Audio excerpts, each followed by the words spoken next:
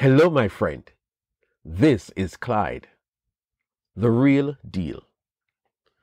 Early this morning, a thought occurred to me that I personally have not heard anything about the theory of evolution lately. Now, don't get me wrong, I have not heard that it has been upgraded, revised, or discarded. I just simply haven't heard about it. And in that moment, an overarching thought came into my head. The heavens declare the glory of God. The skies proclaim the work of his hands. Psalm 19, verse 1. So let us talk about the God that I have grown to know and love.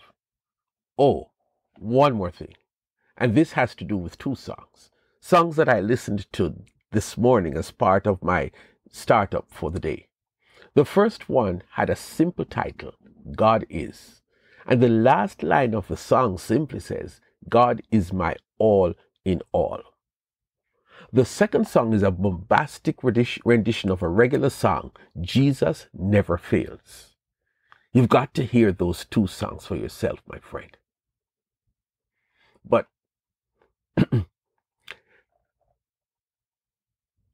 let us go back to the matter before us. We're talking about God. You see, many people do not serve God. They do not believe in God simply because they have not stopped to look. You can look up or you can look around. But if you only look, you will see for yourself that there is a God. When we look around us, we see people doing life. And if you look carefully, they seem to be doing well without God.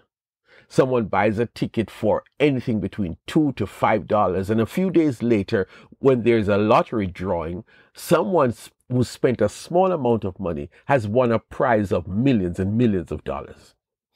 What does God have to do with that?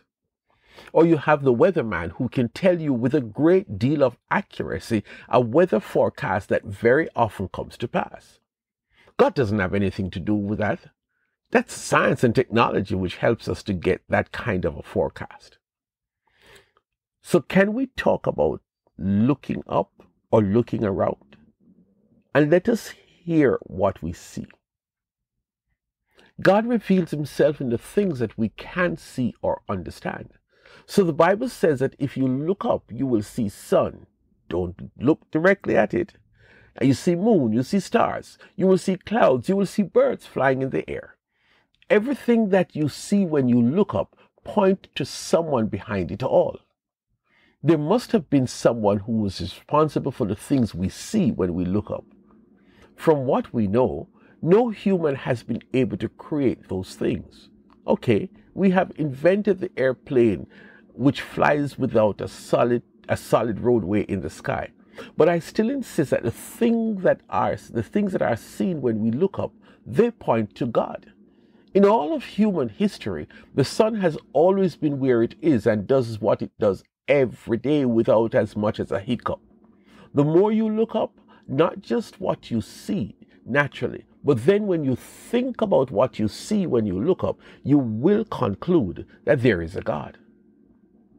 Then there are some of us will be, who will be amazed if we look around because there are tons of evidence that there is a God and he is alive and well. We see trees. We see animals. We see sea and river and all those kinds of things. Let us take the complex business of a pregnancy. As far as we know, the regular thing is that a man and a woman they have sex and stuff from that exercise get together later and something microscopic is formed within a woman. Soon there is growth, movement, features that appear. But seriously, sperm and egg two items which come together after the act of sex that leads to a baby. Listen to this little piece from the Bible that speaks about that. For you, God, formed my inward parts. You covered me in my mother's womb. I will praise you, for I am fearfully and wonderfully made. Marvelous are your works, and that my soul knows very well. Psalm 139, verses 13 to 14. Yes, sir, the humans did their part, but the bulk of what goes on over the next nine months, producing a baby, that was all God, my friend. God did the real work. Sperm and egg cannot by themselves bring into fruition a baby.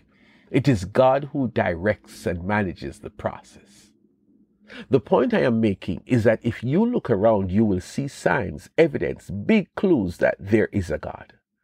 Let us hear what is the problem why so many persons do not believe God is behind all we see. For since the creation of the world, his invisible attributes are clearly seen, being understood by the things that are made, even his eternal power and Godhead, so that they are without excuse.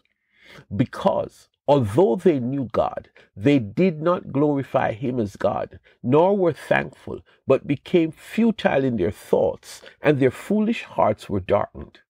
Professing to be wise, they became fools and changed the glory of the incorruptible God into an image made like corruptible man and birds and four footed animals and creeping things.